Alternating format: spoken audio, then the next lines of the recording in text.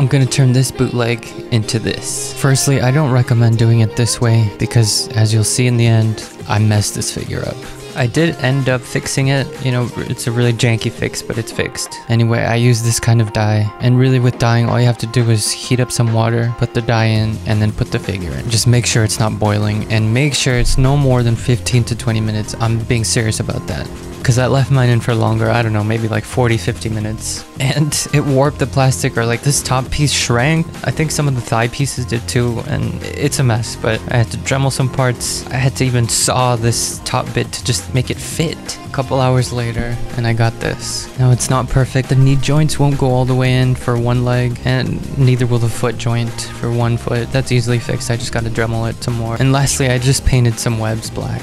And these are just 26 gauge white wire that I just painted. I don't think the paint's gonna hold, but it's, it's it holds fine if you just leave it there. I'm glad this was a bootleg because this was my first time trying to dye figure and obviously I messed up. So I, I don't know if I can recommend it unless you've done it before. Don't leave it in hot water for too long.